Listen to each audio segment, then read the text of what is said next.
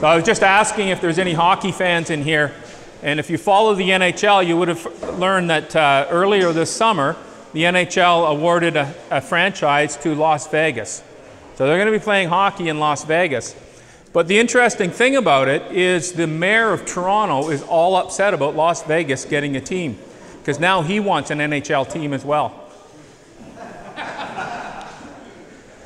All right, so I'm going to give a, a, a, presentation here, and I'll try to keep it fairly short because we're getting a little bit on in the, on the evening.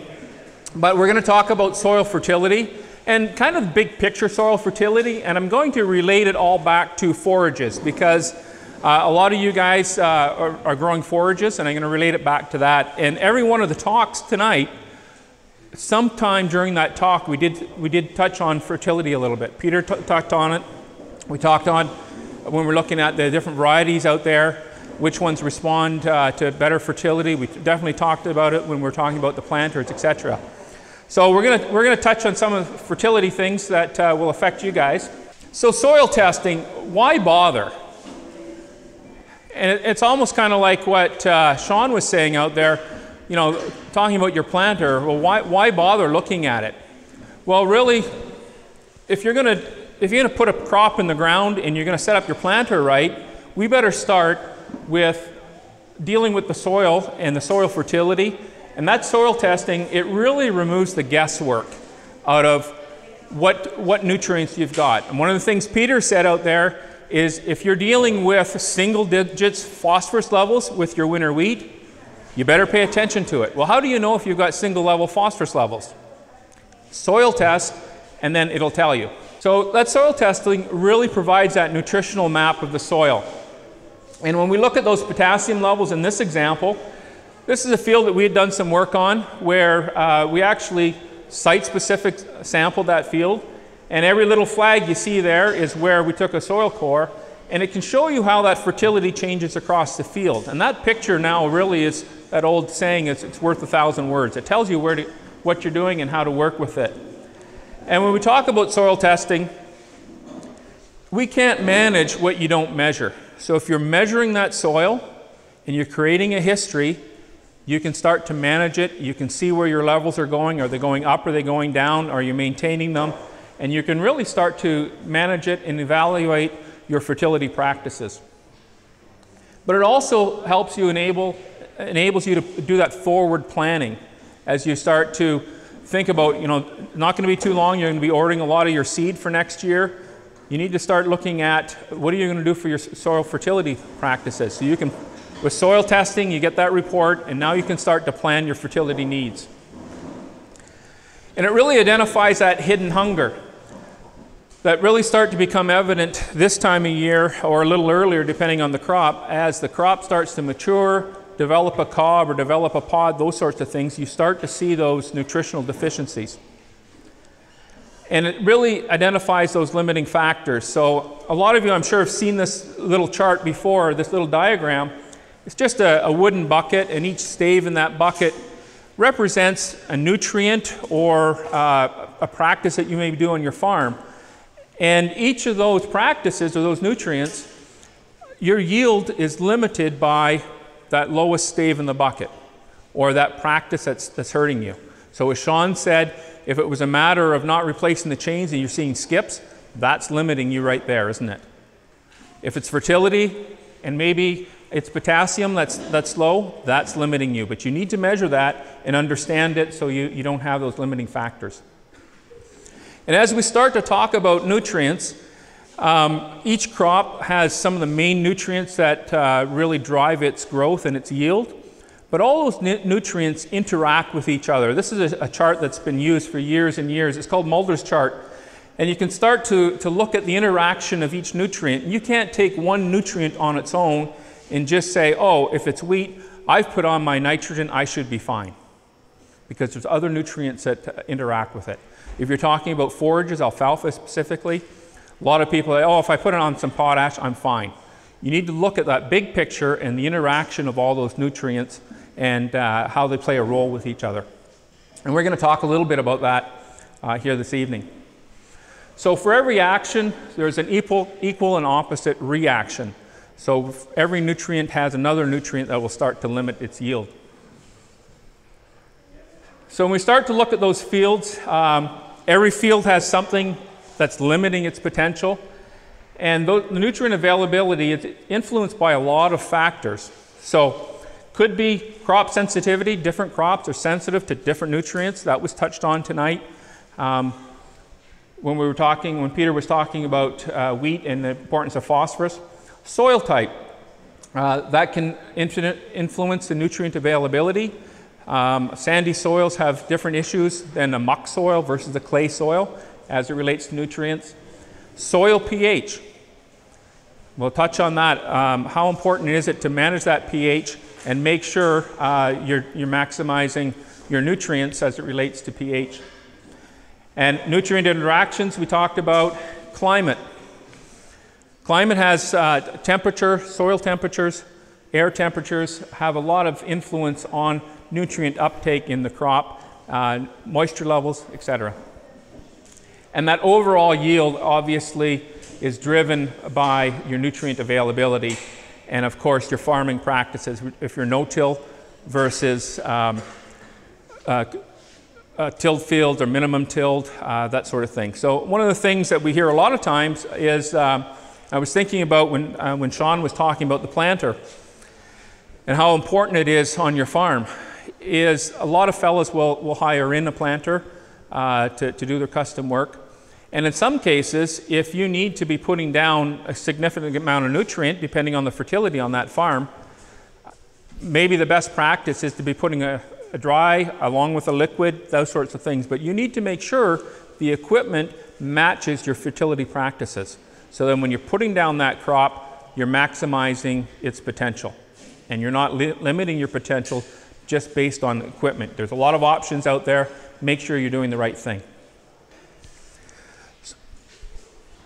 This point I want to make here is uh, probably one of the most important ones. And uh, I get a little bit on a soapbox when I start to talk about soil testing really demonstrates due diligence and best management practices.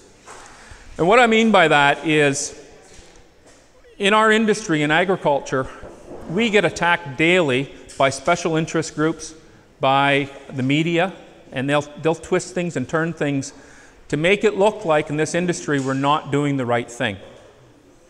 So, as, as I'm sure all of you are aware, um, the use of fertilizers in, for a home lawn is really restricted now. Um, sorry, not use of fertilizers, use of pesticides is really restricted for uh, cosmetic use in, in home lawns if we're not careful, we're going to start to see those sorts of uh, regulations transfer into agriculture when it starts to come to looking at plant nutrients. So, one of the things I like to challenge a group like this uh, to do is next spring, on the long weekend in May, that's probably the busiest weekend of the year for all the garden centers and the hardware stores. And I know you guys on the long weekend in May, you have nothing to do, all your crops in all your spraying's done, and uh, you'll just be sitting there with idle time on your hands. Go down, though, in the spring of the year and check out one of those hardware stores or those garden centers. And I challenge you to find a bag of fertilizer for home use on the home lawn that has any significant amount of phosphorus in it. You can't find it. The, not because it's regulated, but what's happened is a lot of these large fertilizer companies are feeling the pressures from special interest groups, so they've taken phosphorus out of lawn fertilizer. Phosphorus in lawn fertilizer is just as important as it is in wheat or in any of your other crops. It helps build a good root system, helps that, that plant to uh, survive in a drought situation and stress situations. Not allowed to use cosmetic use of herbicides, but actually a good fertility program on a home lawn will help to keep a robust lawn and keep lawns and keep the weeds out of there. So what's going to happen if we're, if we're not careful, we can start to see the pressures special interest groups affect us in our, our nutrient applications. Keep in mind, we do have some watersheds in, here in North America, in, in Ontario and in, the, in Ohio, and the, that we do need to sp- spend very special attention to nutrient levels to manage those properly. And soil testing is a big, big part of that. So, when we talk about soil testing, how often should you soil test? Anybody want to shout out an answer? Every three years. Every three years. Anybody else? Higher or lower? Let's have an auction. We've got three. You want to go, do you want to go up four years? Do you want to go down two years? Peter? Once through the rotation. Once through a rotation. So what does that mean? I guess it depends on your rotation. Yeah, if the rotation gets super long, maybe you gotta do it twice. Maybe twice. All, all good answers. As a general rule of thumb, every two to three years will give you enough information to create that history of that soil and the nutrient levels. Okay? So, what Peter's saying is once through your rotation. So, if you're a three ro- year rotation, that means you're doing it every three years. I wouldn't suggest you need to do it a whole lot more than that unless you've got some problem areas or problem farms where you're trying to change some things and, and manage them a little bit different. But as a general rule, that's probably a good thing, good thing to do. And some guys will do it, you know, following wheat every year just because they've got the opportunity to get in there. Uh, other fellows will just every three years, they just sample all their acres. So that's a, a good rule of thumb. I want to talk a little bit about how do you take a good sample. So if you've hired somebody to come in and do your sampling, they're following these, uh, should be following kind of these rules of thumb. But if you're doing some of it on your own, if you're doing what we call a composite sample, so you're, you're doing every you know 20 to 25 acres are represented by one sample that you're sending to the, to the laboratory. We normally wouldn't want to see more than 20 to 25 acres in a single sample. You just get way too much variability. Um, but when you're doing that and collecting those cores, we'd like to see you taking one to two cores per acre and you're putting those in a clean bucket and mixing those up. So at the end of a 20 or 25 acre field, you should have taken somewhere around 40 to 50 cores out of that area. And that represents that, that field fairly well. Now, keep in mind that the bucket you're using to mix those samples in, get a, a good clean new bucket, plastic bucket, label it soil sampling only, and put it on the top shelf where nobody's going to get it and drain oil into it and all those sorts of things because you want to keep it dedicated to that. All right? The other thing is when you do collect those cores and put them in that bucket, make sure you mix it really well and make a nice consistency in there so it looks like a homogenized sample. I can't tell you how many times we receive a soil sample bag at the lab and we open it up and it looks like a couple little dog turds in there. And, and what they've done is they may have taken a lot of cores, but really they're sending one or two little cores to us that maybe represent that one spot in the field. It really isn't giving you valuable information back. So, what you do in the field is so important to getting valuable information back so you can make good management decisions on.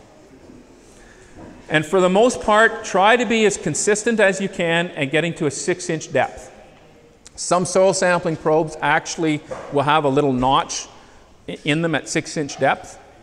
If you're soil sampling your own fields and you don't uh, have a mark on it, just take the grinder and put a little notch in it.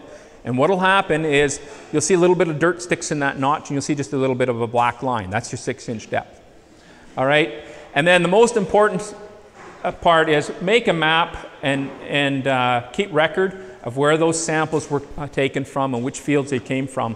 Because there's nothing worse than getting your results back and they go, gosh, I've called that field one and field two, but which one is field one and which field is uh, uh, which one is field two? So when you do label them and give them a name, make sure when you come back in two or three years and sample again that you're using that same name. So now you can create the histories from field to field. Okay, so keep a good record and a good numbering system. What I want to just talk about, I've got it kind of illustrated up here, is you know, you got your typical farm with, with these different fields, and you collect those samples and you put them in your bucket and you, you mix them up really, really well. And then you put them in that, um, you take some of that dirt and you put it in that soil sampling bag. You send us about a cup of soil that will represent maybe 20 acres. When we get to the lab, uh, when those samples get to the lab, first thing we do is we log those samples in to our system, and then we, we dry them, and then we start the analysis on it. So when we do the analysis, so what you're seeing here, this little crucible is, in this case, we're doing organic matter. It's, uh, it's a little bit bigger than a, a thimble. Um, it's kind of the, the amount of soil that's in there that we're doing the analysis. And it's amazing that the soil you took from this field and put in that bucket and put into this bag, and then we dried it and ground it and did the analysis.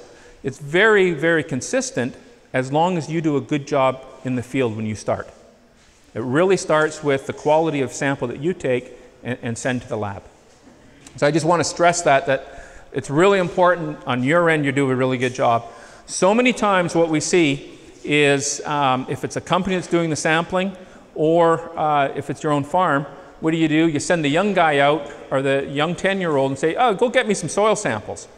That really should be the job that the senior guy on the farm is doing. Because what it does is when you're walking those fields or you're riding them on your four wheeler, you're really looking at a whole lot of other things. You're assessing the crop. You can tell a lot of what's going on when you're soil sampling. So that really is the job uh, that's probably the most important uh, job that you could, you could take on. Okay. Actually, before we get into uh, some of these deficiencies, there's a slide I thought of here tonight that I should have put in um, for you guys uh, for your interest. So every uh, five years, the International Plant Nutrition Institute, which used to be, uh, it's called IPNI, used to be called the Phosphate and Potash Institute. They do a survey of all the soil sampling labs right across North America, and then they compile those results to see what's the trend from province to province, state to state. Are soil sample le- nutrient levels going up or are they going down? So last year, 2015, was the, uh, a five year cycle, so they did them again. Uh, did that survey. What do you guys think? What's happening in agricultural soil? Are soil test levels in general, are they going up? Or are they going down here in Ontario? I have a going down. Who would agree with that? Going down? Who wants to say going up?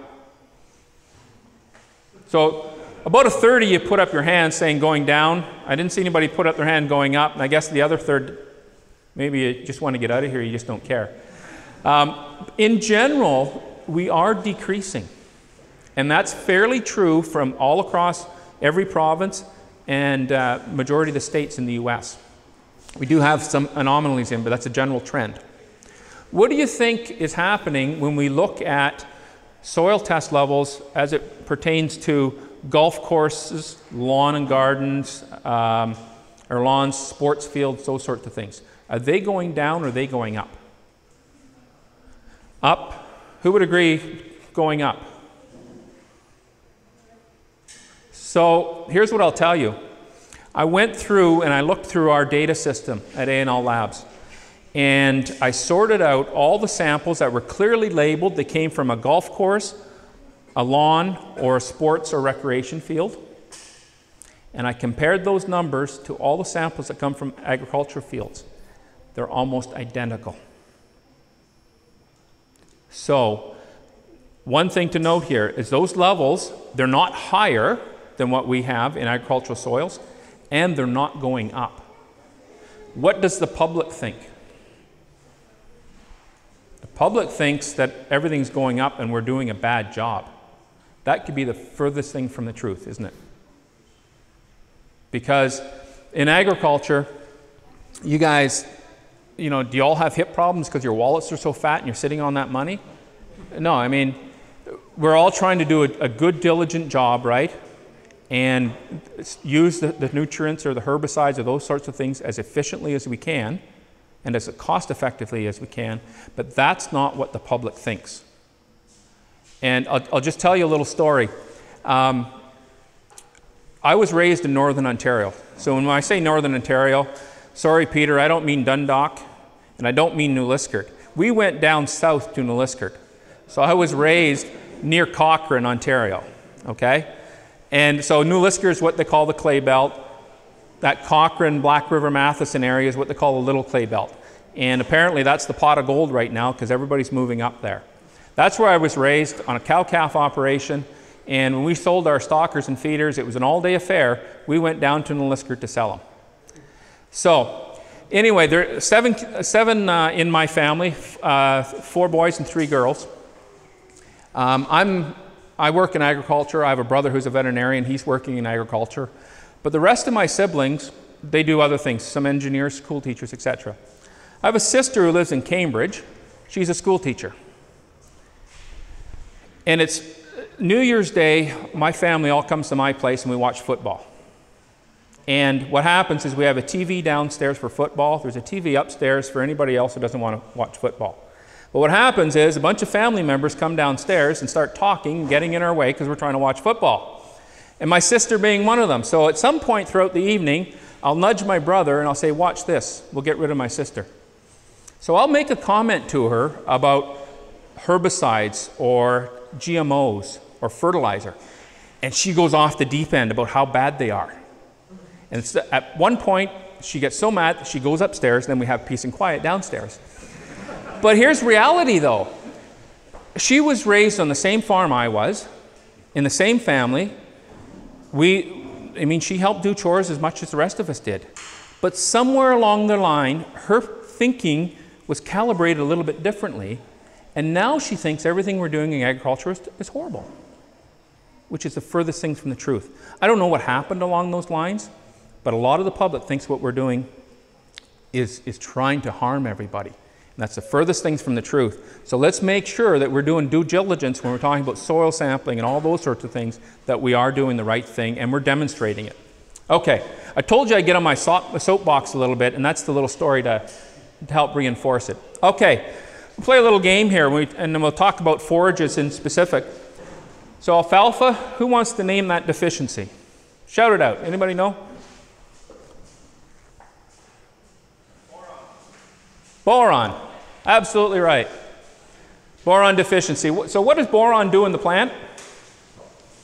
It really helps in that nodule formation, which is important for nitrogen production, and helps in potassium uptake and in that terminal bud uh, formation. Okay? What about this one? No, I know it's kind of a picture from a long ways away. Maybe a little bit tricky for you in alfalfa. What are you seeing? We're seeing some lighter colored alfalfa there? Anybody take a guess? Who's got a prize? We've got some prizes, don't we? Johnson, at Peter, at, at supper, you were saying how bad your eyesight is, and from back there, you can identify sulfur. That's awesome. Let, oh, man. Let's at least give him a round of applause. That's pretty good. Yeah, that's, that is sulfur deficiency. So, wh why are we talking a lot more about sulfur? Well, part of it is back, um, you know, we're talking about into the 80s, we used to see a lot of sulfur uh, surplus coming down from atmospheric uh, depositions or acid rain. And really, that was just because of, you know, a little bit more loosey-goosey environmental laws, and we were getting a lot of free sulfur. That doesn't hold true to today. So the map on, on the left here is just showing higher sulfur concentrations. And um, we're talking about, this is uh, uh, sulfur deposition, so that's not soil levels, but what was coming down in the form of acid rain. All you need to know is this black and blue area, somewhere around 10 pounds per acre of sulfur rain we were just re receiving from crops. And then we look at it a little bit closer today, we're, we're nowhere near that. And this is actually from early 2000, uh, 2002. So we're starting to add a lot more sulfur back into our fertility programs because the crops need it and we're, not, we're just not getting as much as we should. What does sulfur do? So it really helps with its protein formation. It promotes that nodule formation and encourages more vigorous plant growth. So a rule of thumb is um, especially when we talk about crops like uh, corn and, and wheat. For about every 10 pounds of nitrogen, one pound of sulfur. That's just a good rule of thumb. I mean, obviously, we're going to go by a soil report and that sort of thing. One thing we forget a lot, though, is we're not normally putting a lot of nitrogen down on our alfalfa fields. And why is that? It produces its own, absolutely. But don't forget, even though we're not putting the nitrogen down, we most likely have a need to put some sulfur down because the crop's still needing it, even though it's, it's producing its own nitrogen. Okay. So when we start talking about sulfur, just keep in mind, for most of your crops, you want to try to apply it in that 10 to 1 ratio for, with nitrogen. Name that deficiency.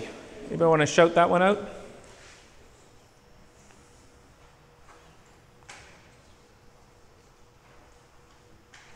That's a beetle.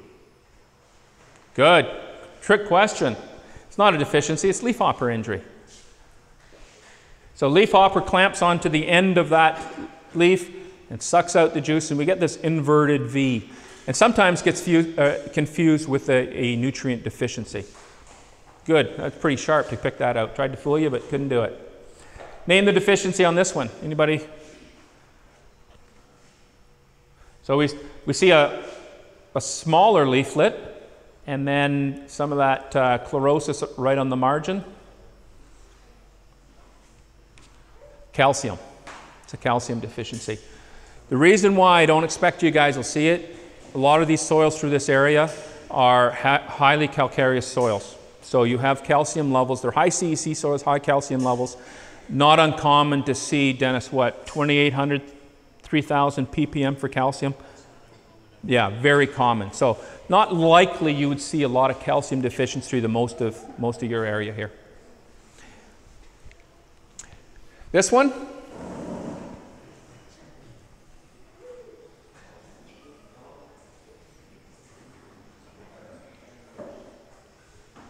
Heard something in the back. Shut it out.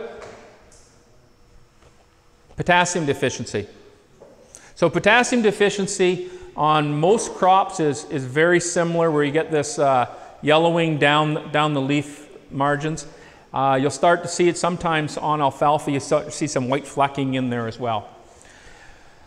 Potassium extremely important in, in alfalfa for protein synthesis and that stomatal function and, and disease resistance. So nodule formation for whatever reason? Because nitrogen normally producing its own, or alfalfa is normally producing its own nitrogen. So what, what's nitrogen do in the plant? Uh, key point there to remember is it's the primary building block for amino acids and proteins. So nitrogen and sulfur are the primary building blocks for protein in a crop. If you're growing alfalfa, what are most of you guys doing it? You're putting it back in the barn. So a good protein source. So it's important to, to be managing that. Okay, so when we talk about these key nutrients for uh, alfalfa and forages, low levels of any of those nutrients can start to, to limit your yield and have a negative effect on the quality as well. So using the soil analysis and uh, in conjunction usually with a, a, plant analysis can really help you monitor that crop and make sure that what you, the seed you're putting in the ground, you're setting up for success at harvest time. Okay? And that soil sample can really help you to interpret those, uh, the soil uh, qualities and then make a good management decision from that and uh, try to give you the highest yield. So when we start to think about the hidden hunger, those visual symptoms are useful to identify the deficiency in the crop when we see it in the crop, but that's really too late. You've already lost quality and yield. So you want to know, anticipate what those deficiencies are ahead of time so you don't see them in the crop and uh, already have lost that yield.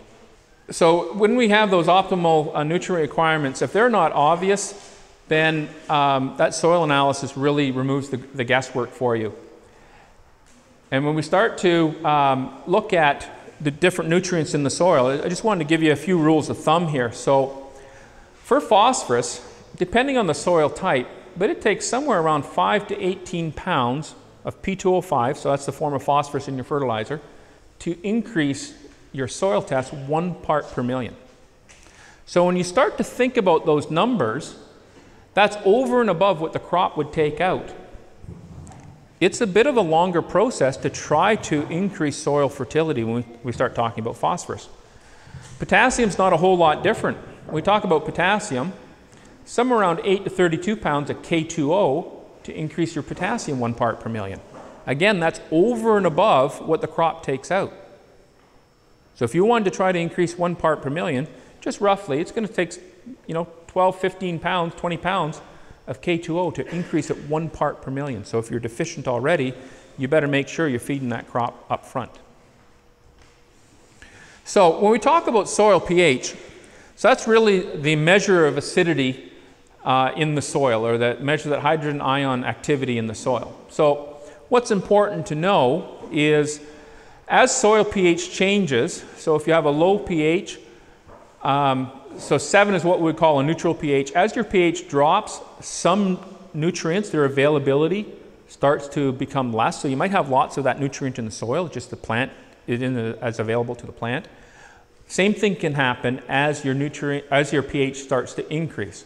So the ideal pH for most crops, we tend to say somewhere in that you know six and a half to seven range, that ballpark. The reason for that is if you look at most of these nutrients, that's where they're most available. Okay? What's the pH for most of you guys in this area? Most of you guys are somewhere in that seven to seven and a half, or maybe seven, six, seven, eight, some cases, Dennis? Oh, yeah. Yeah, Even high as eight. As high as eight. So, what's that telling you? Normally, when we talk about pH issues, we're talking about low pHs where you have to lime. For a lot of you guys, we're talking about a little bit higher pHs where we can start to have some availability issues, especially with some of these micronutrients. So, it's important to pay attention to some of what your pHs are and what you're doing with your, your fertility program. So when we look at your pHs and how it affects nutrient availability, let's just take a low pH of four and a half. You've got somewhere around 30% availability of your NPK compared to if you get that closer to that six and a half to seven range. Okay? But when I back up a little bit, you guys are in closer to this, this seven and a half range. Most of your macronutrients, you don't really have too much availability of problem except for phosphorus. Okay? So here's the thing to note though. Dennis said not uncommon to see some pHs of, of approaching 8, but 7.5 is not, 7.5 is not uncommon in this trading area. If you're doing a composite sample, so you're taking, you know, if this is a 20 acre field and you're taking one to two cores per acre, you're really kind of getting an average of all these different pHs. But what can happen is you can have some areas in those fields where you've got low or extremely high pHs, but it's being masked because you've got a composite sample. So in some cases, especially when we're talking forages, if you have a low pH, you, as soon as you go to alfalfa, you're going to see it right away because that alfalfa is going to be stunted and it's just not going to perform the way it should compared to the rest of the field. That'll be a good indicator that you've got a low pH situation, and if you go soil sample that's separate from the rest of the field, it'll probably indicate that you've got a low pH. So that'll be the, one of the quickest ways for you guys that are growing forages that it'll show up. This is just uh, an indication of uh, a field that had low pH. Where we see this good alfalfa, it was limed. This area, there was no lime applied. And you can see, I mean, seeding rates and everything were the same, just that alfalfa is not establishing. Okay, let's put a few numbers to what we've talked about as it relates to uh, alfalfa. So when your crop tests are in the sufficiency range and soil tests indicate that there's no deficiencies, it's still a good idea to replace what the crop's removing so you don't get into that deficiency range, okay? But when we start to talk about you know standard tables, there's all kinds of different tables. If you visit our website, we have some tables on there that say uh, for certain yield of corn, um, we, you have this much nutrient removal, barley, wheat, alfalfa, etc. Okay. There's all, all sorts of those tables available. They give you a general idea, but if you really want to see what you're doing on your farm, is especially if you're growing forages, you can really calculate that quite simply. So when we start to look at your forage analysis, so this is your feed analysis for your forage, those numbers, when we start to talk about um, your phosphorus and potassium that's in those forages, they're expressed as a percentage of dry matter, and normal dry hay will be somewhere around 7 to 10% moisture or 90 to 93% dry matter, okay? So you need to convert those to tons of hay or dry tons of dry matter, and then we can do a calculation of how much nutrient is actually in that, how much is being removed. So if we look at that, on that, the other thing you need to know is on the feed analysis for a forage report for what you're feeding in the barn, those, the, the phosphorus and potash or potassium is expressed in elemental P and elemental K, whereas on a soil report, we express it as P2O5 and K2O. Okay? So we need to convert P to P2O5 to get our fertilizer requirement. You need to multiply the phosphorus from your forage report by 2.29. That's the conversion factor. And to convert K to K2O, multiply by 1.2. So if you wanted to know how much P2O5 and K2O are required to replace what a hay crop of 4 tons per acre removes, so it's 4 tons per acre a big, big yielding crop?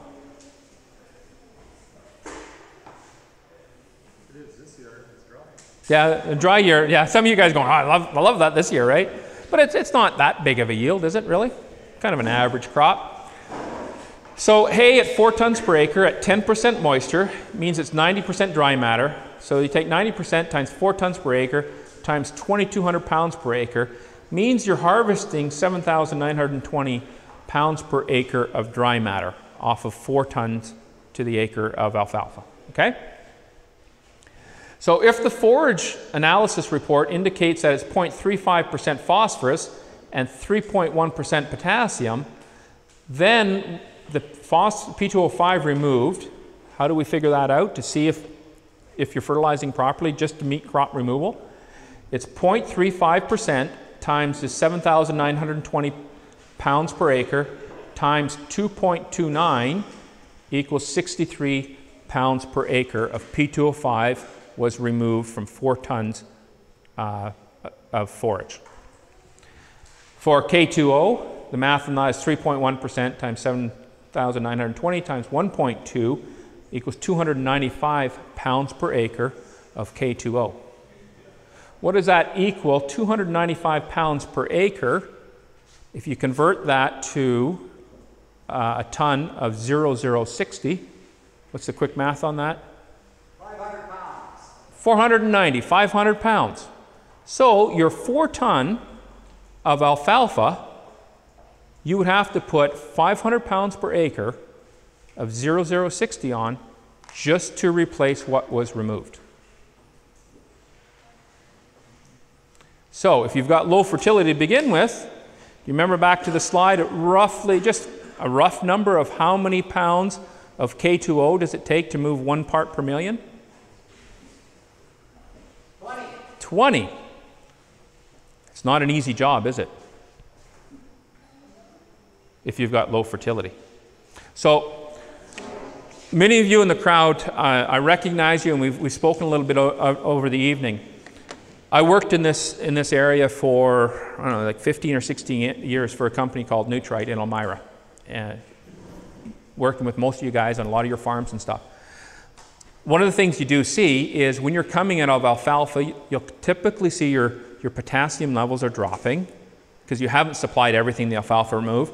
But lots of times when you're moving that into your corn rotation, you're getting a little more potassium on than the corn fully removes because your manure and stuff, those levels come back up. So it's okay to see this kind of cycle as long as your potash levels are where you want them. What you don't want to see is this up and down cycle that's going down continuously, though. So you want to make sure you're managing that. Now, I know some of you guys are probably thinking, if you're dairy farmers, going, but I don't want to put potassium on my alfalfa fields because what does that do to my cows? Milk fever, right? Why is it called milk fever? Because it can mess up the metabolism of calcium and that causes milk fever. The issue isn't um, fertilizing your alfalfa. If you don't fertilize your alfalfa, you're just going to have a low yielding alfalfa that's high in potassium. Alfalfa is just going to be high in potassium because it's a luxury consumer of potassium. It needs potassium to grow. What you really need to do is those dry cows, make sure you're feeding them more of a grassy mix, not an alfalfa, alfalfa mix. That's all I have for this evening.